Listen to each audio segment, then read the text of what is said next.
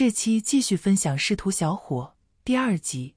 宋国明和张青原来是在政府办等车的，车子一到，他们也就出去了。肖铮这才从小仓库里出来。肖铮回想宋国明和张青的对话，里面提到了肖书记，应该就是新的县委书记了。令肖铮奇怪的是，镇党委书记宋国明想要见肖书记，竟然没被召见。作为一名普普通通的基层干部，镇党委书记在肖铮眼中已经是非常强势的存在了。他没想到宋国明巴巴想去见新县委书记，结果竟然被拒了。刚才宋国明说他等会要跟县委办的人吃饭，恐怕是去疏通关系了。等到他见了新县委书记，恐怕还真能很快得到新县委书记的认可。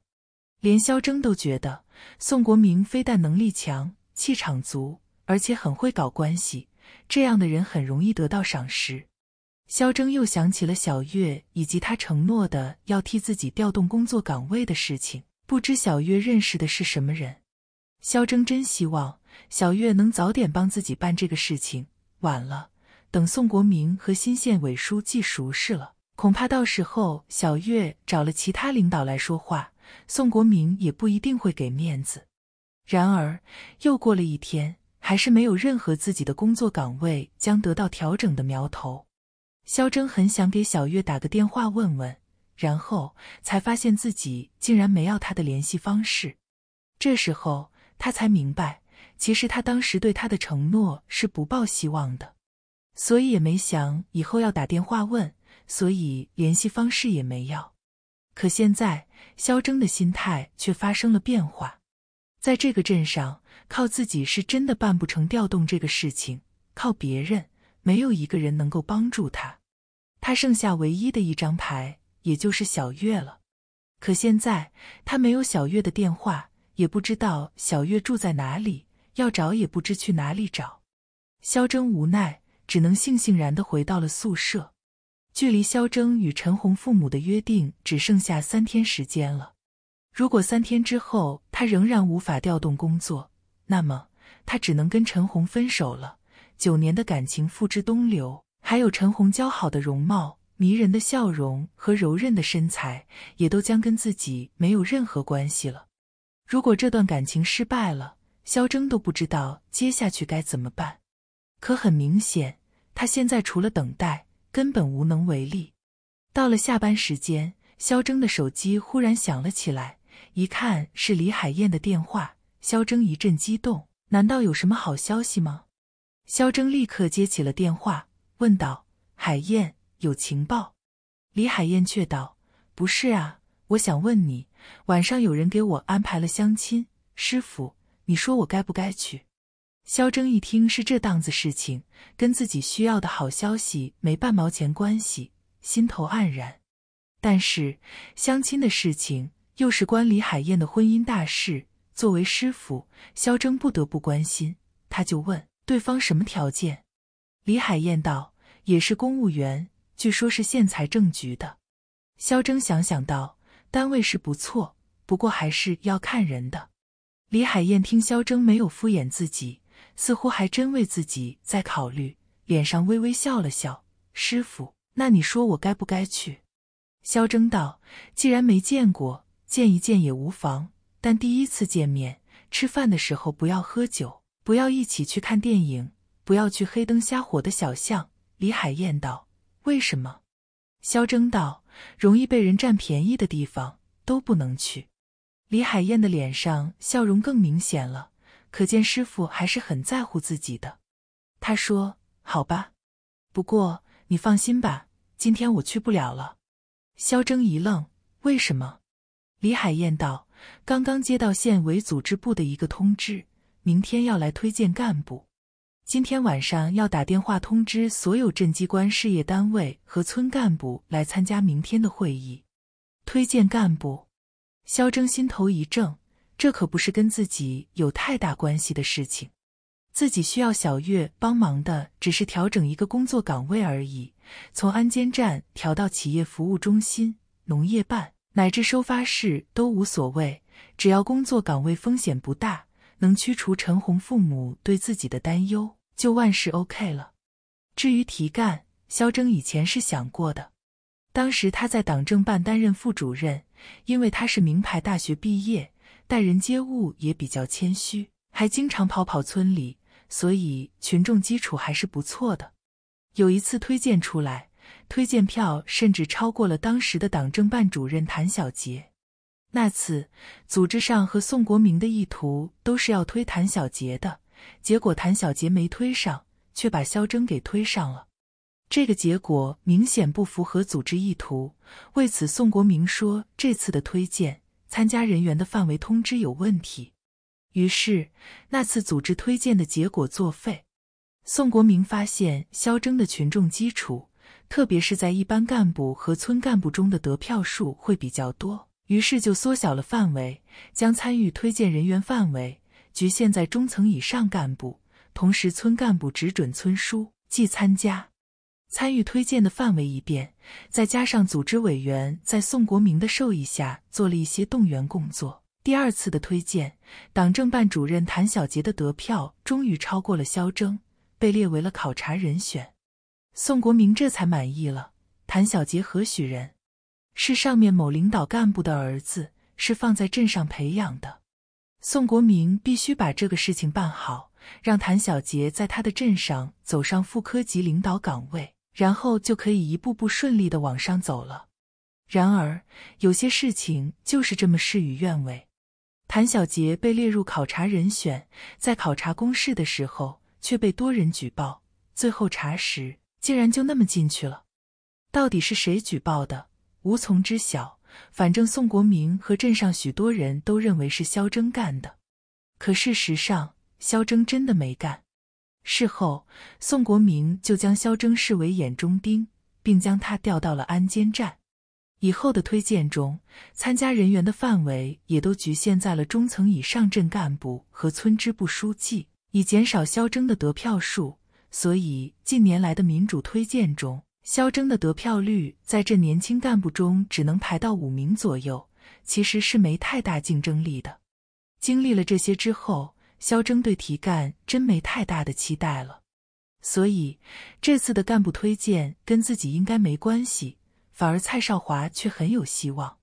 肖铮对李海燕道：“那么你要加晚班了吗？”李海燕说：“是啊，所以相亲是去不了了。”李海燕的声音中竟然还带着一份喜悦。肖铮道：“加班不能去相亲，你怎么反而显得有些高兴呢？”李海燕道：“我希望明天能把师傅推荐上去，这样一来以后师傅就可以罩着我了。”肖铮在电话里苦笑一下，在这个镇上，认为肖铮能被推荐上去的，恐怕也就李海燕一个人了吧。这也正是李海燕的单纯之处。尽管明明知道自己不可能被推荐上去，但肖铮也不想说丧气话给李海燕，就道：“万一师傅真被推上了，师傅一定罩着你。”李海燕在那头笑道：“那就一言为定了。”肖铮道：“一言为定，不过这承诺兑现的可能性几乎为零。”李海燕道：“好了，不跟师傅多说了，我得去食堂吃个晚饭，然后开始打电话通知了。”肖铮道：“好，你去吧。”这天晚上，肖铮竟然又接到了陈红的电话。他在电话中问：“你们镇上明天要推荐干部了？”肖铮道：“听说是有这回事，你怎么这么快就知道了？”陈红道：“我爸爸说是蔡少华告诉他的。蔡少华说，镇上培养他很久了，明天百分之九十以上就是他了。”肖铮想。这蔡少华也真是会来事啊！这民主推荐还没开始呢，他就认为是自己了，这是不是有点太着急了？不过，肖铮又想起了昨天宋国明说要去跟县委办的领导吃饭，说不定宋国明已经见到了新县委书记，并为蔡少华的提拔铺路了。内心里，肖铮还是不愿意承认。他说：“蔡少华会不会太乐观了？”民主推荐的结果没出来，什么事都可能发生。陈红却道：“你呀，就是看不得人家好。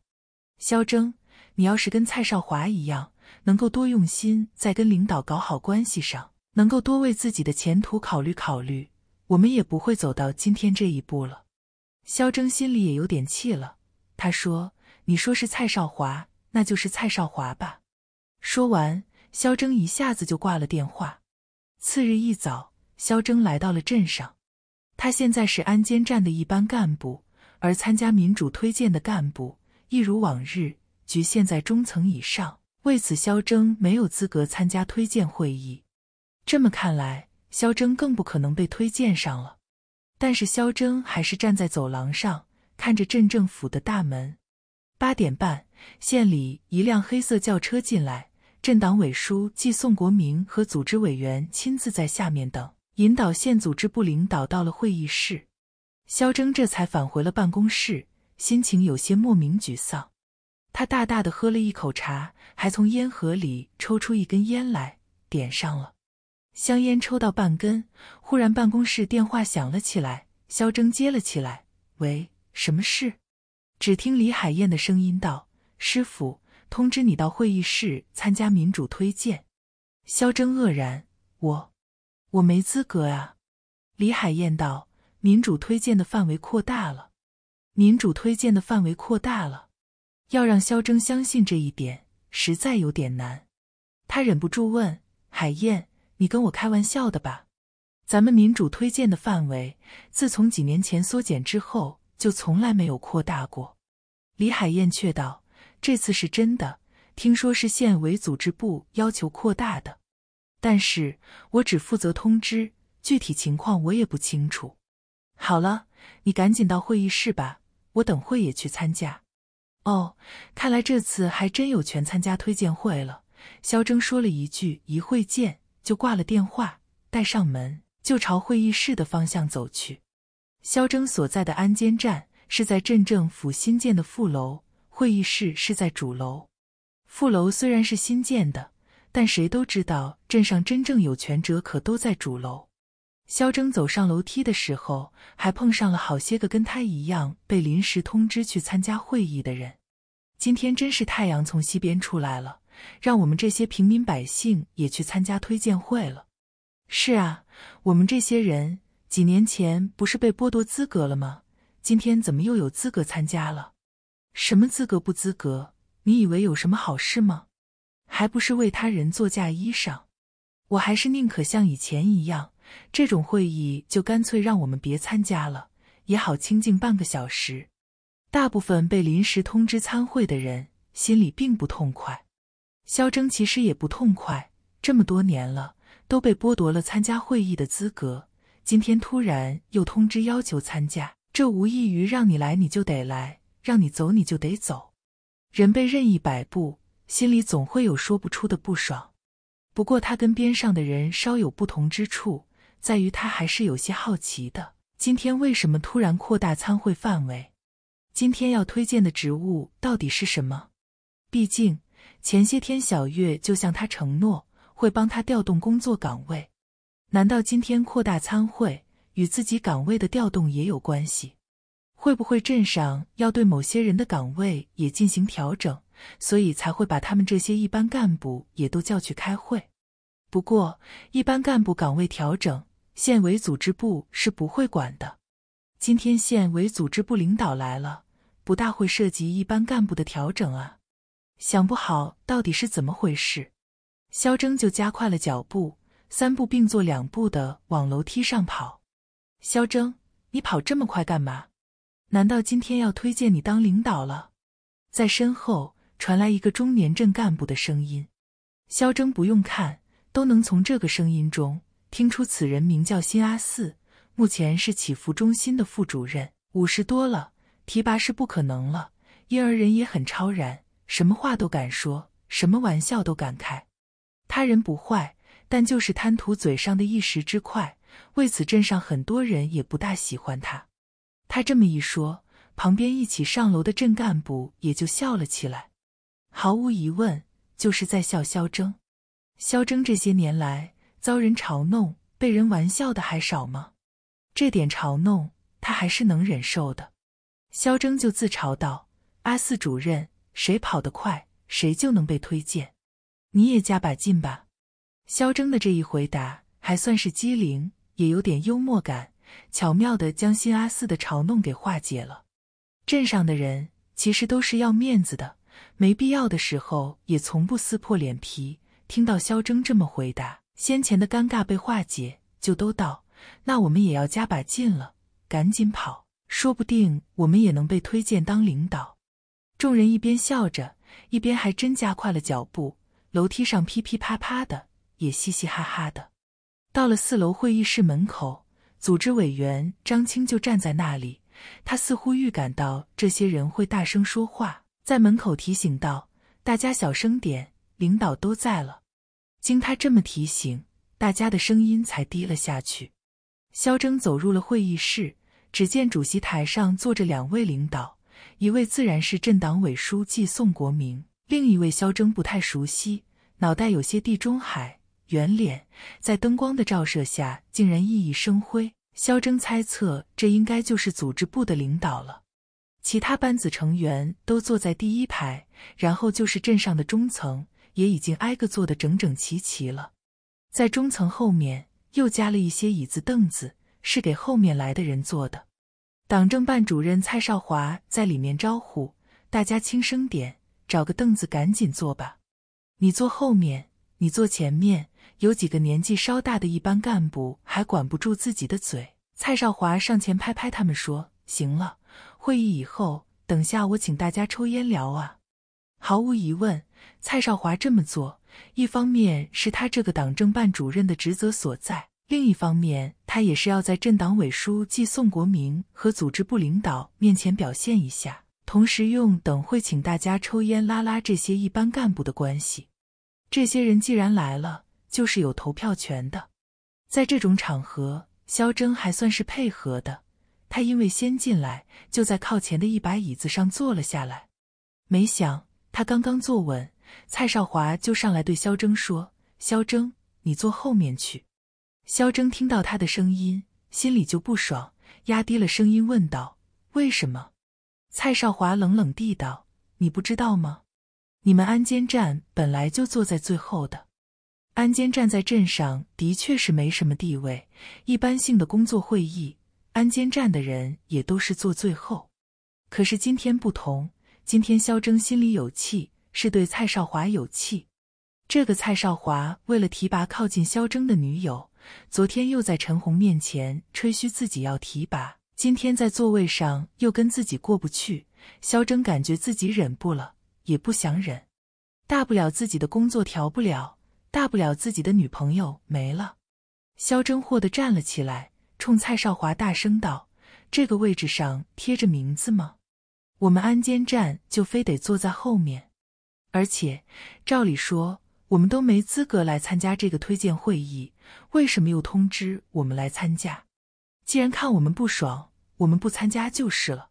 肖征倔劲儿上来了，说完就离开那把椅子，朝会议室门口走。其他几个上了年纪的镇干部在门口被组织委员要求别说话，到了会议室里面又被蔡少华呼来唤去。心里也很不痛快，一见到肖征站起来要走，也跟着要走。不开了，不开了，我们走好了。谁稀罕参加这种推荐会？本来就是为他人做嫁衣裳，这些上年纪的干部又没什么好失去的，大家根本有恃无恐，一下子五六人就朝外面走，一副要散伙的架势。台上宋国明一瞧，脸色难看，但是他也不好直接喝止。这些镇上的老干部，有些是看着宋国明成长起来的，有些是无欲则刚的。就算你是党委书记，你要摆架子，还真能不给你面子。旁边组织部的领导也注意到了下面发生了什么喧闹，就转向宋国明：“宋书记，还是先让大家坐下来吧，位置前后无所谓的，关键还是要及时把票投好。”宋国明也有点怪蔡少华多此一举。一定要让某些人坐到后面去。现在是什么场合？重点是什么？搞得清楚吗？好，宋国明朝组织部的领导低声说了一句，就对着话筒道：“大家先坐下来了，座位不分前后，都坐下来。”组织委员张青站在门口，忙拦住了肖征，说：“肖征，你去坐，到前面去坐吧。”肖征朝旁边蔡少瞧了一眼，转身走到之前的位置坐下了。他只是对蔡少华有气，现在既然领导都出来说话，让他们随便坐，至少自己不用听蔡少华的。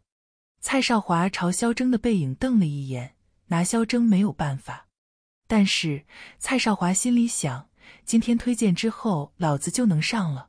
等我当了领导，肖征，哼，我有的是机会来整你。组织委员张青在门口劝大家赶紧坐下。那些老同志还是给组织委员面子的，再加上镇党委书记也在台上说话了，大家也就勉为其难的坐下来。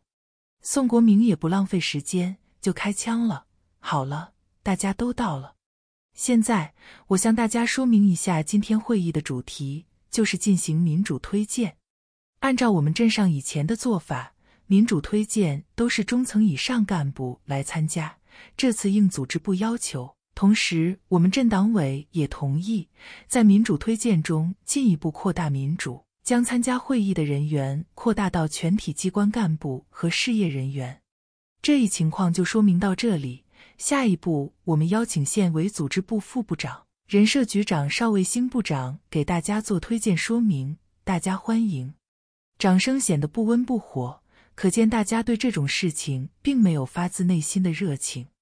当然，宋国明、张青、蔡少华等人例外。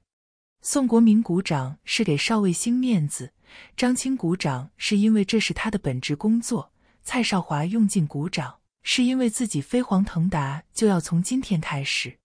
邵卫星拿着稿子，抬起头说了开场白，说民主推荐是干部培养使用中的重要环节，有多么重要等等。还感谢了大家在忙碌之中配合这次民主推荐，然后开始说明这次民主推荐的条件。肖征感觉有些不耐烦，希望这个会议早点结束。恐怕与己无关的许多人也是这么想的。然而，坐在前面的蔡少华却是一脸的期待。昨天晚上，组织委员张青就对他说过了，这次推荐一位党委委员，他是很有希望的。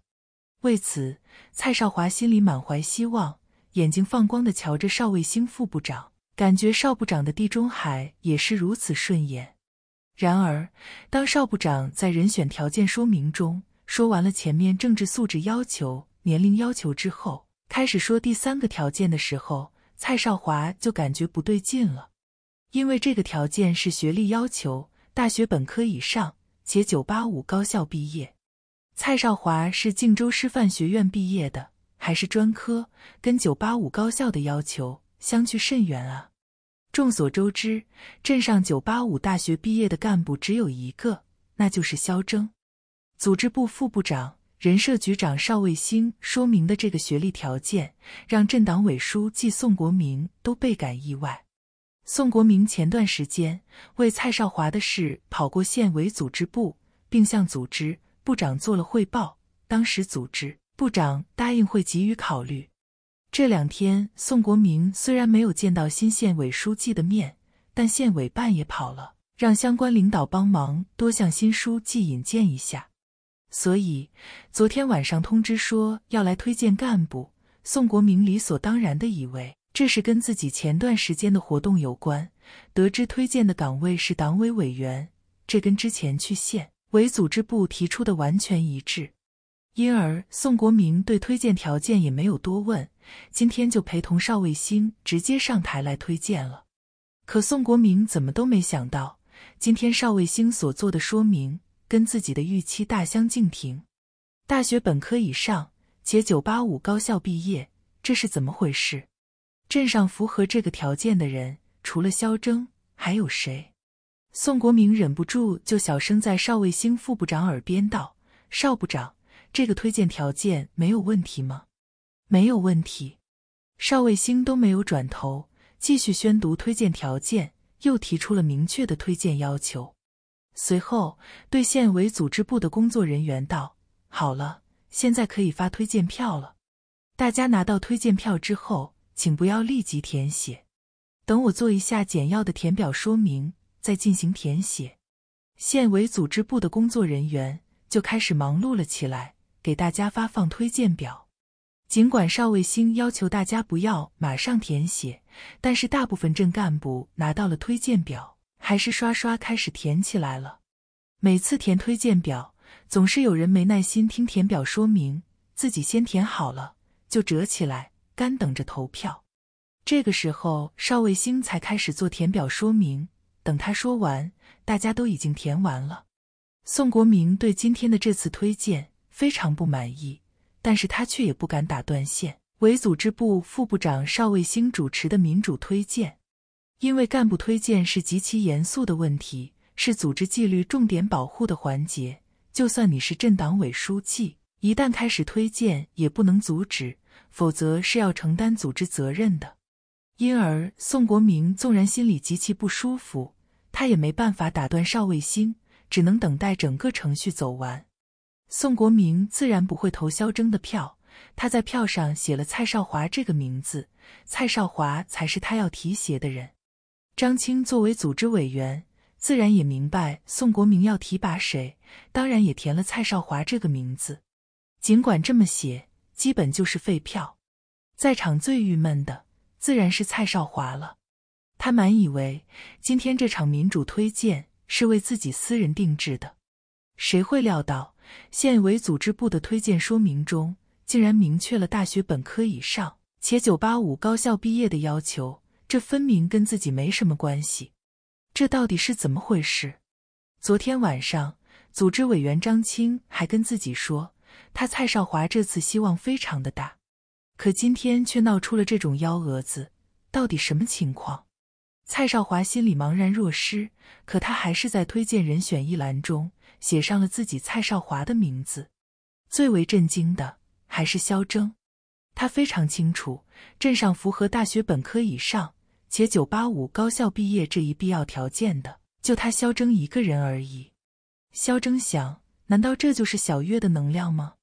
肖铮回想了一下，自己跟小月在国际大酒店吃饭的时候，还真提到过自己是985杭城大学毕业的事。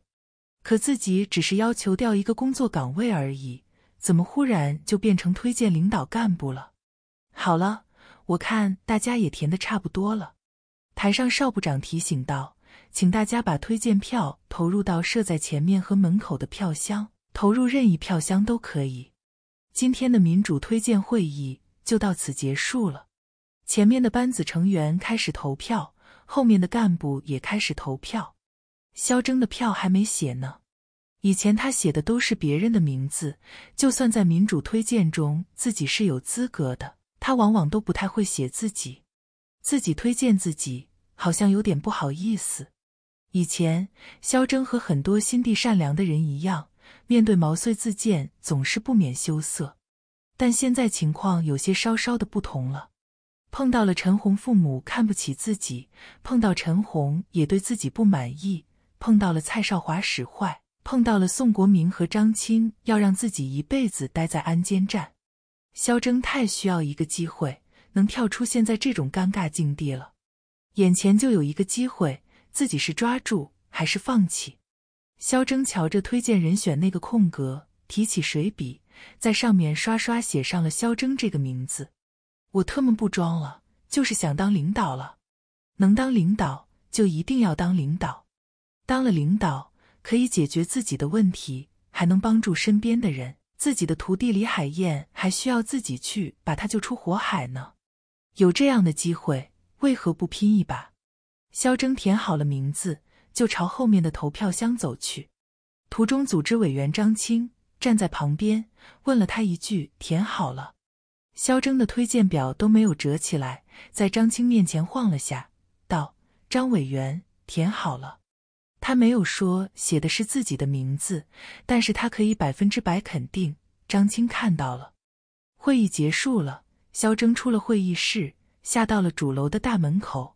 有些人看他的目光似乎都有些不同，有的人离他远远的，有的人却朝他点头，还有的班子成员装作没有看到他的。肖铮也不去在意，走向自己办公室所在的副楼。肖铮，肖铮。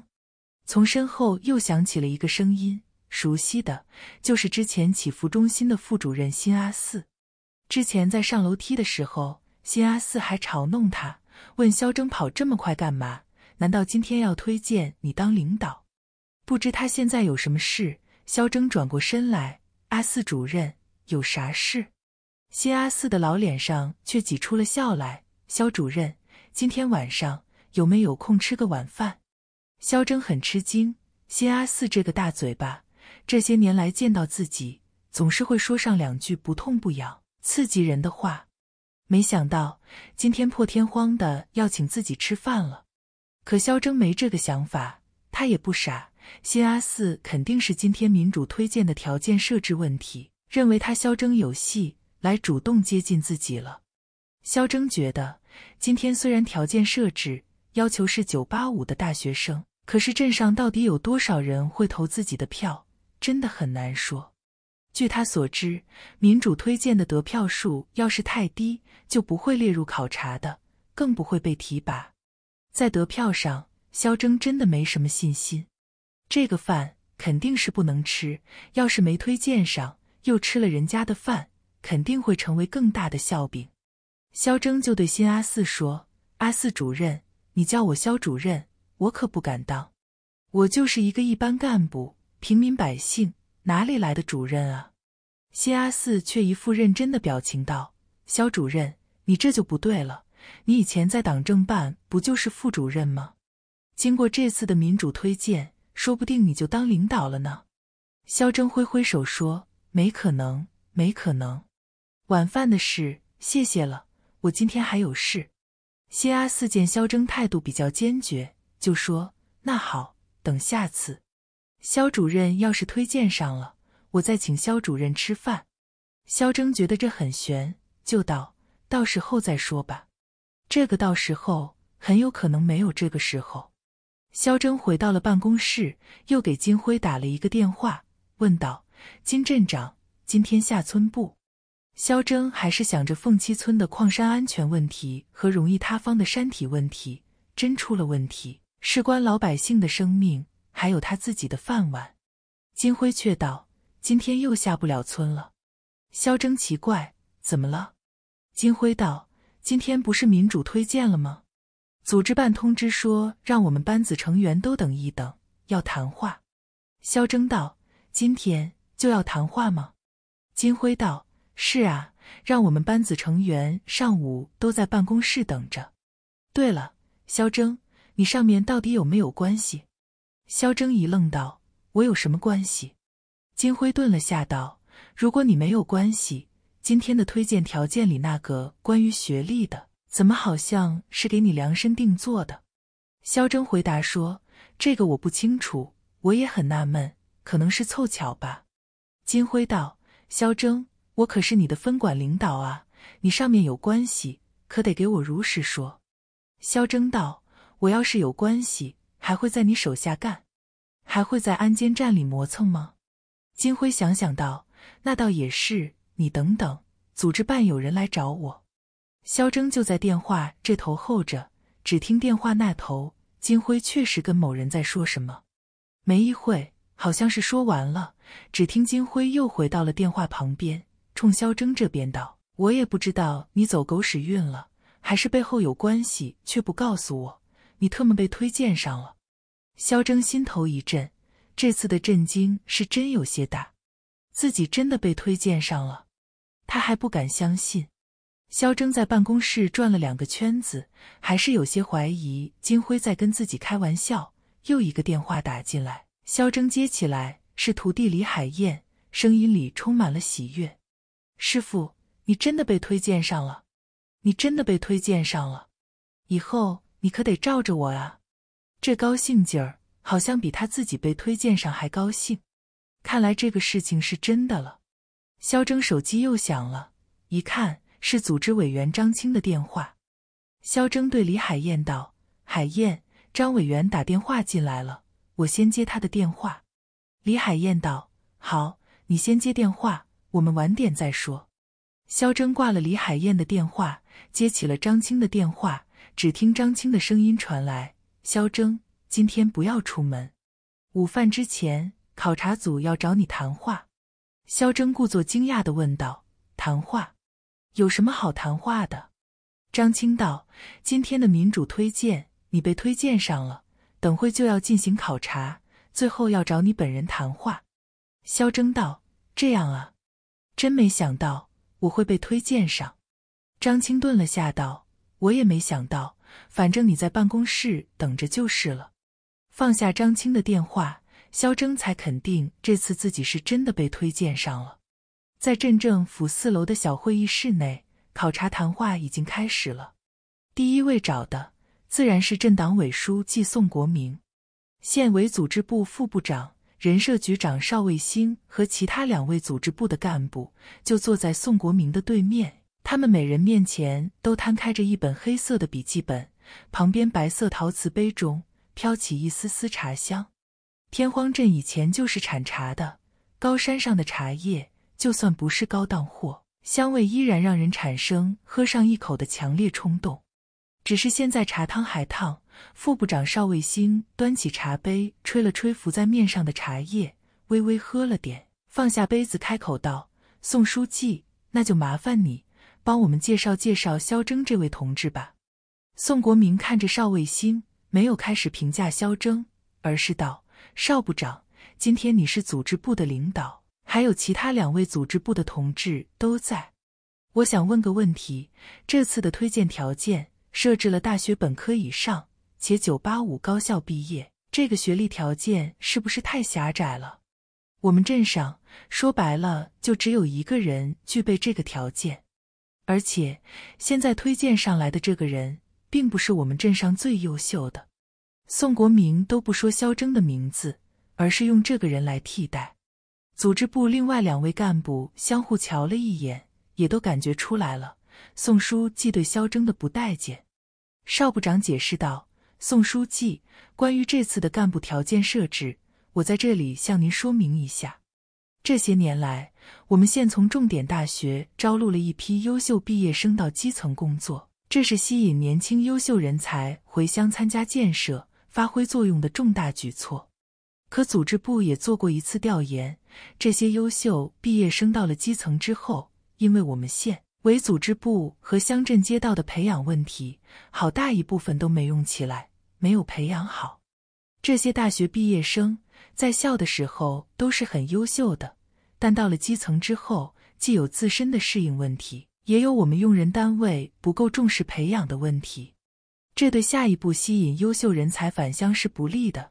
因而去年年底，县委组织部就向县委提议，加大重点大学毕业生的提拔使用，最先考虑的就是985大学毕业生。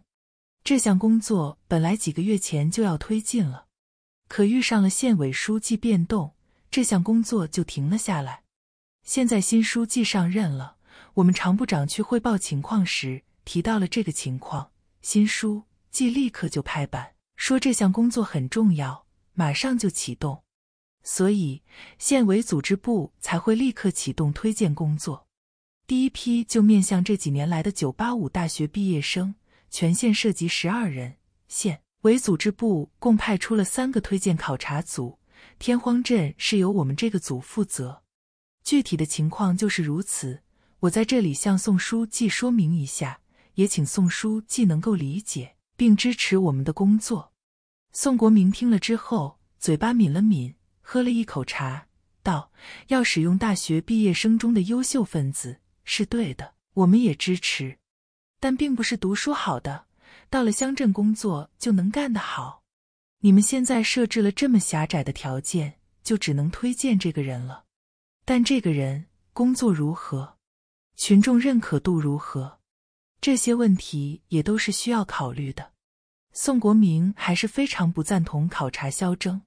邵部长道：“宋书记，你的担忧，县委组织部也都考虑到了，所以我们的民主推荐环节就发挥作用了。”今天的这次民主推荐，一共八十六个人参加。你知道肖征的得票数多少吗？宋国明摇了摇头，问：“有没有过半啊？”如果没有过半，我建议都不用考察了。邵部长笑笑说：“宋书记，你可能低估肖征了。他的得票是七十九票，也就是说占到了百分之九十一点八。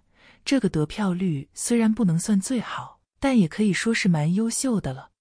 正因为如此，我们才会将他列入考察对象。他的得票率有这么高，宋国明难以置信。按照宋国明的预估，肖铮得票能过半就已经是大出意料，没想到他的得票率高于百分之九十一，这让宋国明不能接受。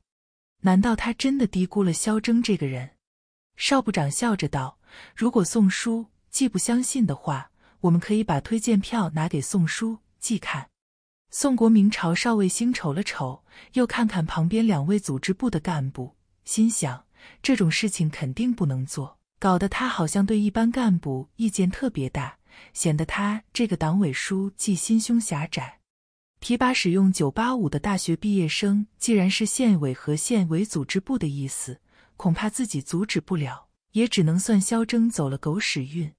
宋国明说：“看推荐票就不必了，有邵部长坐镇，还有组织部的干部在，推荐票肯定是数的再准确不过了。”谢谢宋书记的认可。邵卫星见宋国明情绪缓和，就笑着道。那就麻烦宋书记给我们介绍介绍肖铮同志吧，优缺点都讲讲。宋国明道：“好吧，我只能简单讲讲。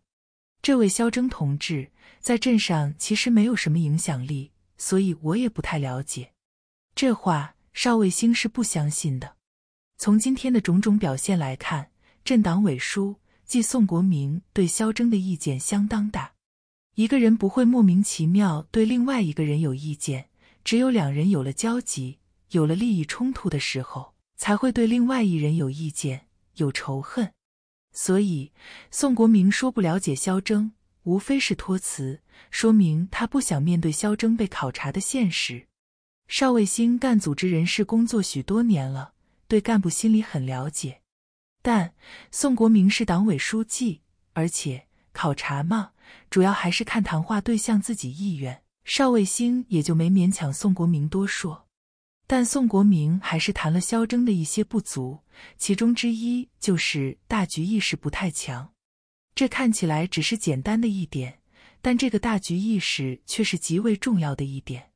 一般考察中，如果普遍反映干部大局意识不强，是得不到提拔的。邵卫星意识到，宋国明对肖铮的意见不是一般的大。而是到了要毁了肖铮前途的地步。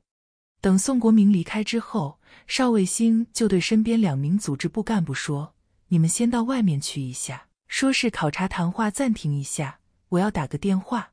什么时候重新开始考察谈话，听我的通知。”两名组织部干部会议立刻站起了身来：“是，我们去跟张委员说一声。”等他们走了出去。门被带上之后，邵卫星拿起了手机，走到窗前，望着外面的水杉树，拨通了组织部长常国良的电话：“常部长，现在有个情况，想要向您汇报一下。”对面常部长道：“邵部长，什么情况？”邵卫星就将跟宋国明谈话的情况汇报了，特别是涉及到其中宋国明说肖铮大局意识不强的问题，进行了汇报。常部长道：“这个问题，你等一等，我先打几个电话，然后你再从镇长管文委、人大主任高正平开始谈。”邵卫星道：“好，常部长，我等你电话。”两位组织部的干部出来通知了张青暂停谈话之后，张青就有些纳闷了。他知道宋书记刚刚谈话，考察组就要求停止谈话，难道宋书记说了什么？让考察组有所顾忌，所以暂停谈话了。对肖铮的考察会不会取消？正在张青疑惑的时候，小会议室内副部长邵卫星的电话响了起来，是常部长的电话。邵卫星马上接了起来。听常部长讲完，邵卫星道：“常部长，您放心，这个事情我会处理好。”放下电话，邵卫星来到了会议室门口，把张青找了进来。张青是镇上的组织委员，邵卫星是副部长，又是人社局长，是正科级，资历也老。张青还是颇为尊重的。邵部长，不知有什么吩咐？邵卫星道：“刚才常部长给我打电话了，他明确表示，培养使用好优秀大学毕业生，让更多高校人才返乡工作，回乡创业是县委县政府的重要决策部署。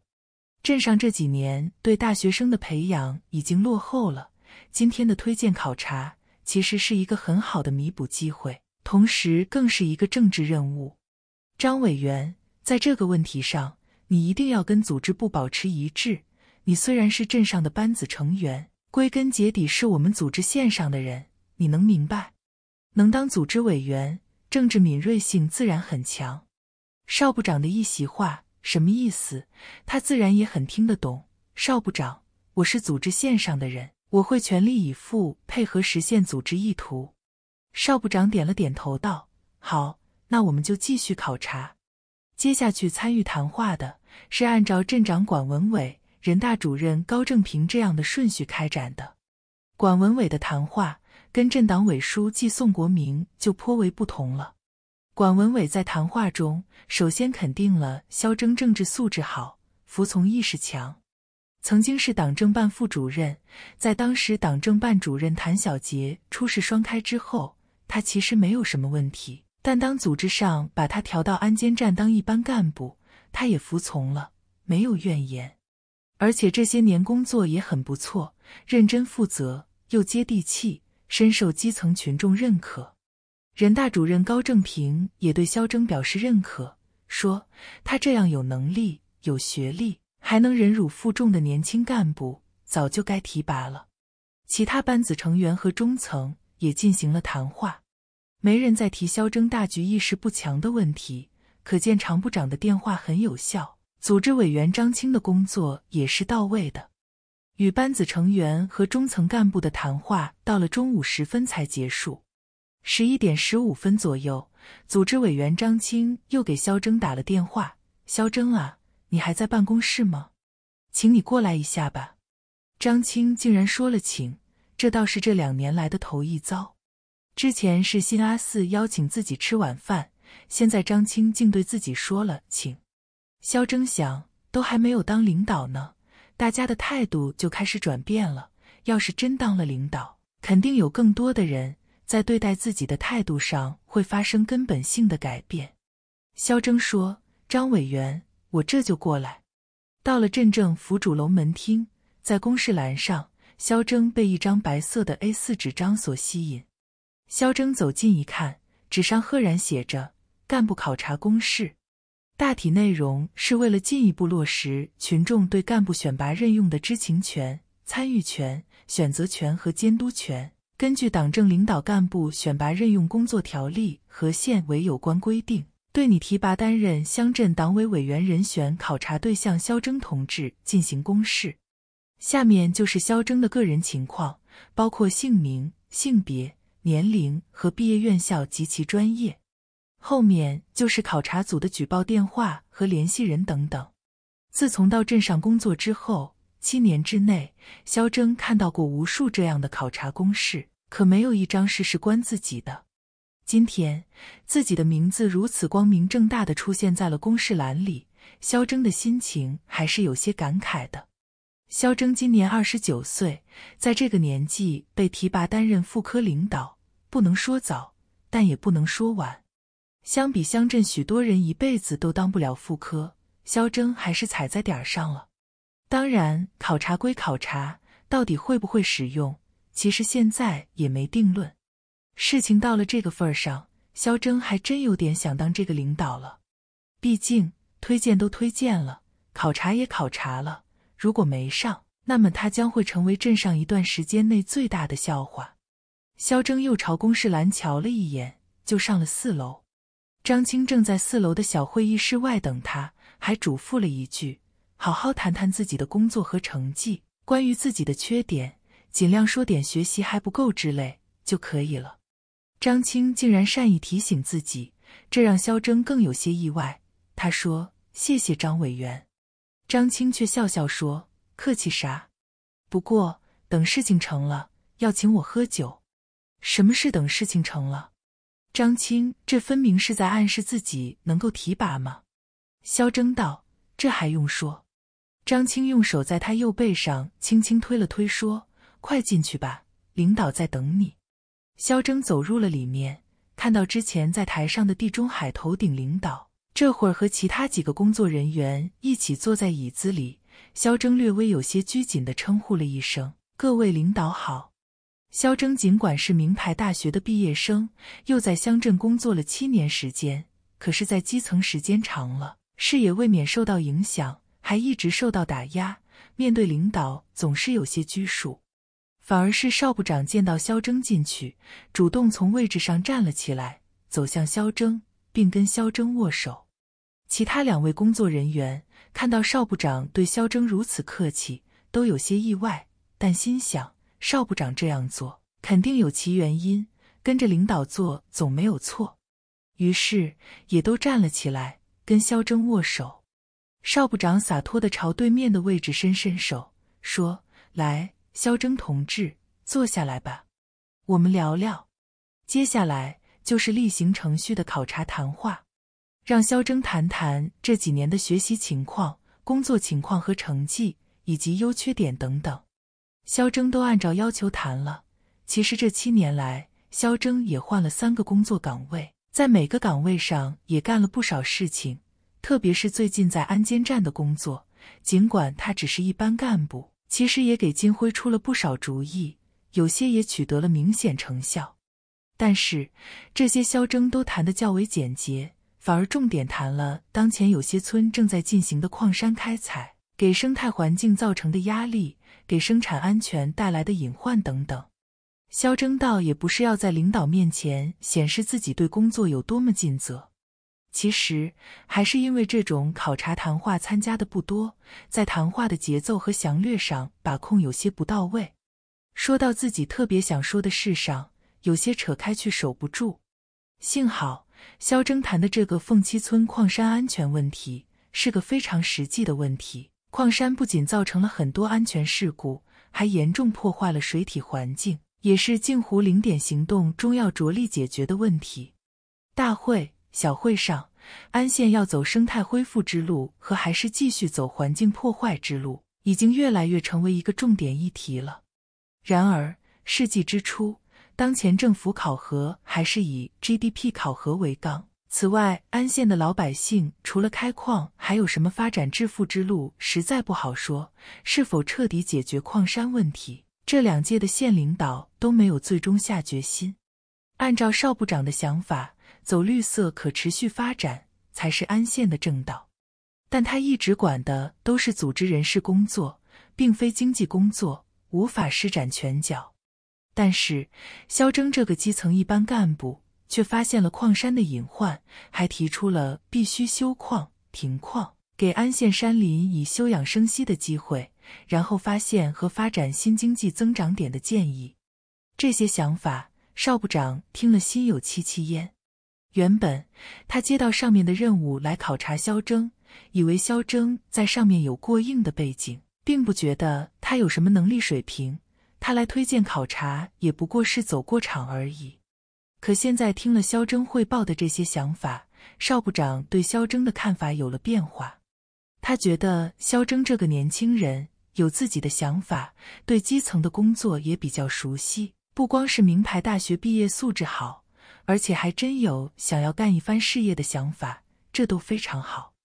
要不是旁边考察组成员提醒邵部长时间差不多了，邵卫星还想跟肖征继续聊下去。但这次考察组的任务还是比较紧张，于是邵卫星道：“肖征同志，今天你介绍了自己的学习、工作和成效，还有对解决矿山问题的想法。我个人认为这些想法都非常好，难能可贵。我本来还想听你多聊聊建设性意见，可这次时间有限，我们马上要回县里了，今天就只能这样了。下次有机会我们再聊。”组织部的副部长、人社局局长说要跟自己再聊。肖征还从未有过这样的待遇。当然，邵部长很有可能也仅仅是说说的，但这也让一名基层干部心里倍感受用了。今天真是发生了太多让肖征意外的事情。这次，肖征没有等，主动走到了桌子另一边，跟邵部长握手，也跟其他两位组织部的干部握手。要知道，阎王好见，小鬼难缠，考察材料肯定是那两个年轻人写。既然已经到了这一步，肖征自然也希望他们能写得好一点。两个干部也挺客气，和肖征握了握手，随同少部长一起走出去。组织委员张青马上陪同他们又去党委书记宋国明那里转了一圈，然后坐着公务车离开了天荒镇。宋国明也表示邀请考察组在镇上吃饭，但不太热情。邵卫星自然能感受出来，就推脱说时间紧张，回县里去了。肖征在副楼的阳台上瞧着他们离开之后，才打算回自己的办公室。猛然之间，他瞥见在主楼的阳台上也有两个人正在看那辆公务车。这两人是镇党委书记宋国明和党政办主任蔡少华。组织部的公务车驶出大门之后，宋国明和蔡少华也就回了书记办公室。肖征感觉他们没有发现自己，但就算发现了又如何？大家谁不知道谁？反正只要宋国明在任上，他是不会对肖征友善的。他肖征也没有必要装作乖乖听话的样子。这些天来，肖征似乎明白了一个事情。那就是在机关里要把自己的喜怒哀乐表现出来，人家才会把你当回事。就算把你当成了眼中钉，当成了对手和敌人，也比闷在那里任人欺负要舒服，要爽快。肖征不知道宋国明和蔡少华回到办公室去干嘛了，但应该对自己不会有什么好处。当天下午，肖征又去找了副镇长金辉，问他下不下村。金辉很奇怪的瞧着肖征：“你不是已经在考察期了吗？说不定还真能提拔呢。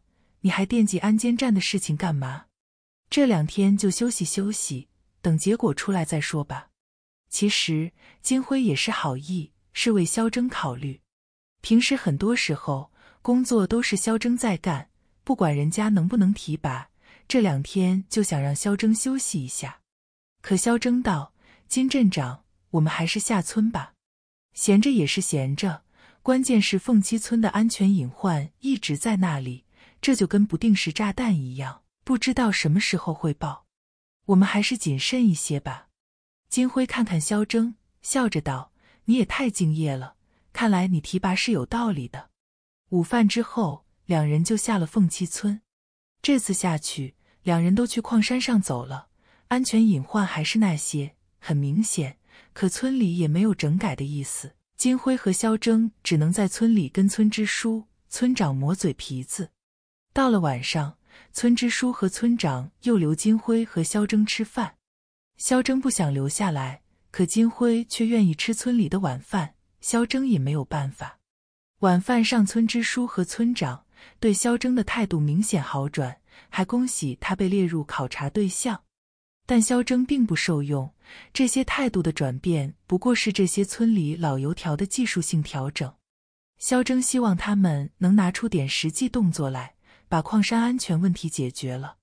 然而一喝酒，金辉又变得你好我好大家好了，实际问题还是没有得到解决。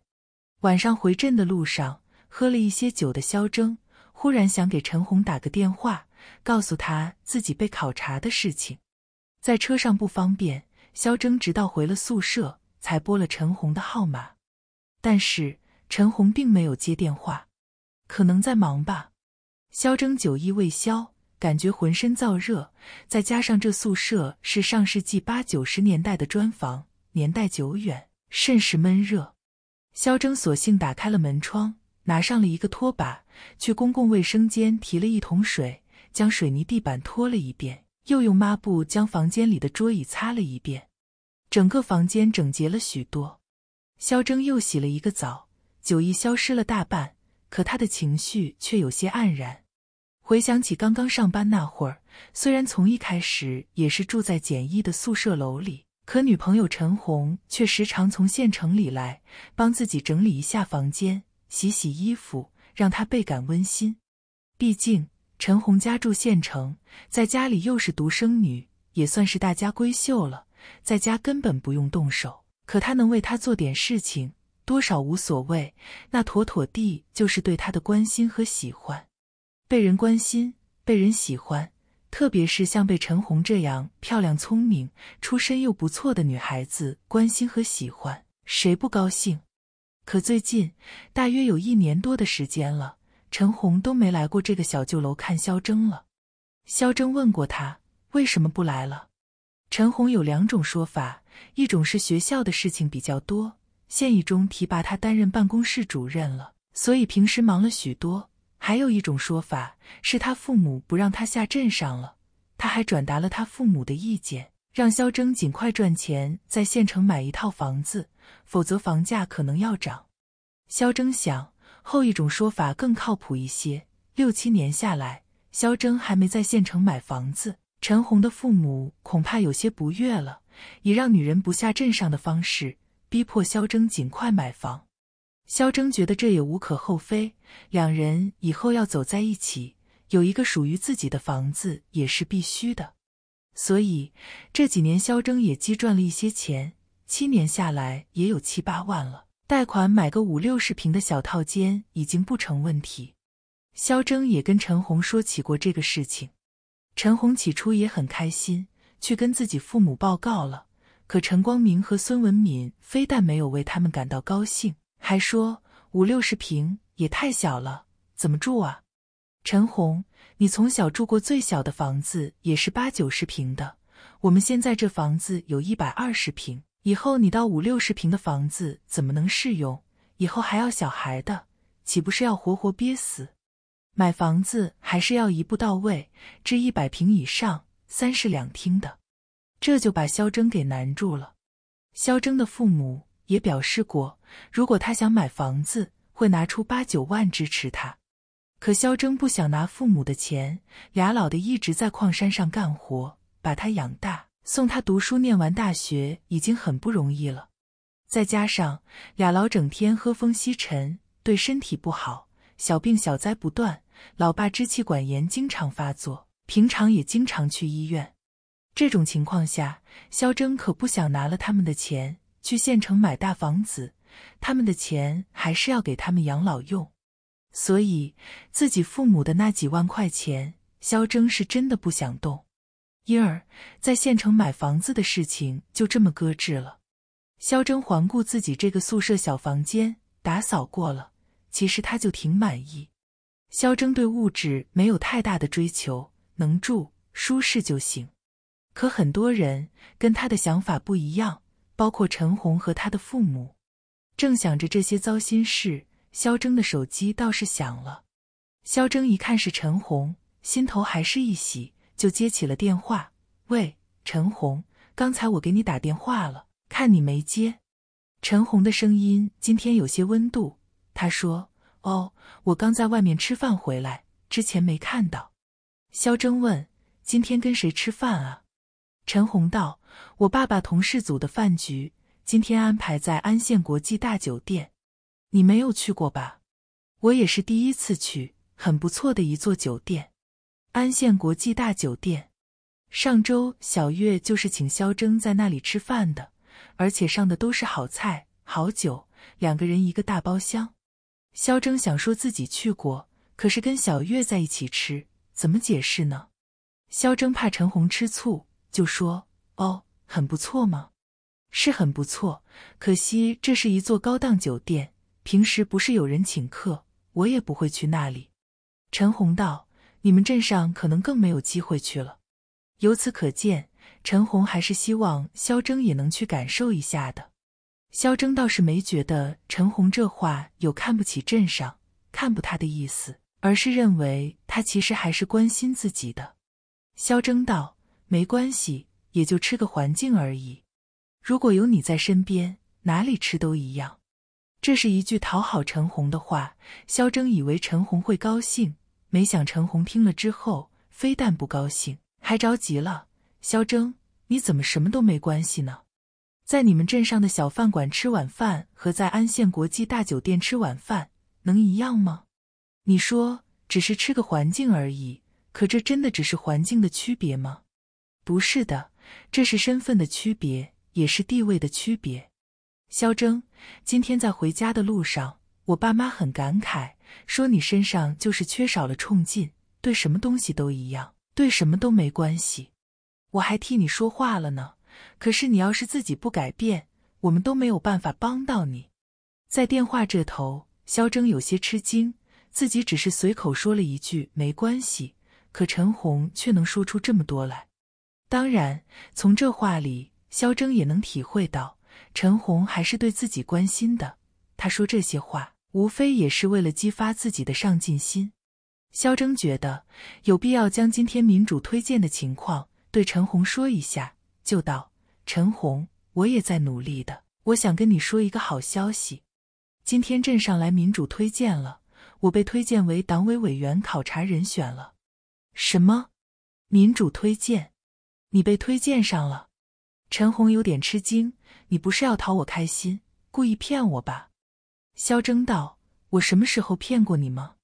陈红，我可能还有点不求上进，可是以前我没有骗过你，今后我也不会骗你的。陈红还是有些怀疑，为什么是你？不是蔡少华，蔡少华昨天还给他打电话，信誓旦旦说他要提拔了。陈红也认为蔡少华是党政办主任，跟镇党委书记的关系又搞得非常好，所以他也理所当然的认为蔡少华会被推荐上。可没想到结果出来，竟然是肖铮，这真有些出乎陈红的意料之外。肖铮解释道：“这次推荐。”有一项学历条件，必须是大学本科以上，且九八五高校毕业。我们镇上只有我是符合条件的。陈红就更奇怪了，有这样的事？那考察的时候顺利吗？陈红不免关心起肖铮的考察情况来了。据他所知，镇上的人并不待见他。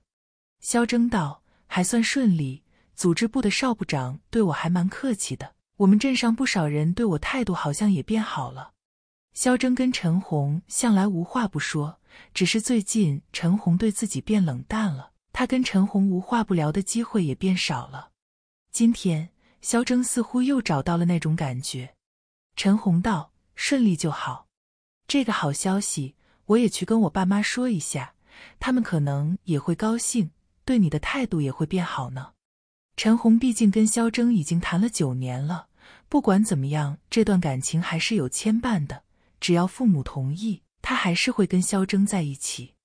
肖铮道：“好啊，让叔叔阿姨知道一下也好。”肖铮以为陈红去跟他父母说之后，又会给自己电话或者短信，可晚上他没有等到，也不知道陈红去跟他父母说了之后，陈光明和孙文敏是什么反应。到了第二天上午，陈红也一直没有给自己回音。中午休息时间，肖铮又给陈红打了电话。陈红倒是很快就接起了电话，声音似乎又比昨天晚上淡了一些。肖铮，什么事啊？肖铮忙问：“昨天晚上你把我的消息告诉叔叔阿姨了吗？”“嗯。”陈红淡淡地道：“我对爸妈说了呢。”肖铮问：“他们怎么说？”陈红道：“我爸爸开始听到这个消息还蛮高兴，可后来他去问了组织部认识的人。”组织部的人说，这次的考察人选并不是每个人都会用，大概能用的不超过百分之六十，其余推荐票不高和考察出来情况不好的还是不会用。百分之六十，只有百分之六十。肖铮心里也咯噔了一下。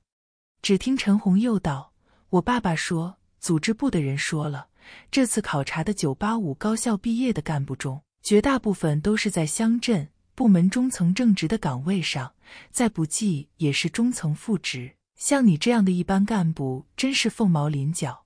所以他们说你的机会不大，很有可能是陪绑的。陪绑？听到这个说法，肖铮差点就晕过去了。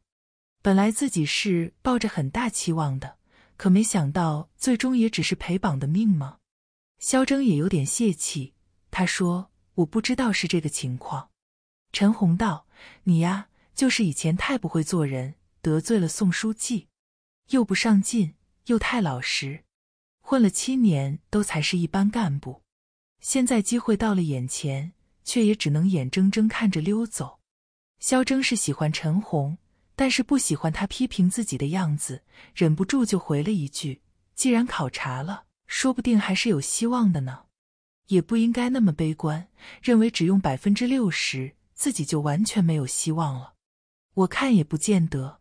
好吧，你既然觉得自己有希望，那你就觉得有希望吧。陈红也不想跟肖铮争吵，我要去上课了。说完就挂了电话。尽管肖铮在电话中对陈红说自己也有希望，可真静下来想想，他自己也觉得这种可能性小得可怜。百分之六十，其他人都是中层以上，就自己这个一般干部，怎么可能轮得到自己？肖铮感觉自己在办公室待下去只会胡思乱想，就又去了副镇长金辉那里。金辉一见到他，就爽快地道：“走，咱们下村去。”肖铮有些奇怪，平时都要自己催着副镇长金辉下村，好久没见他有这么主动过了。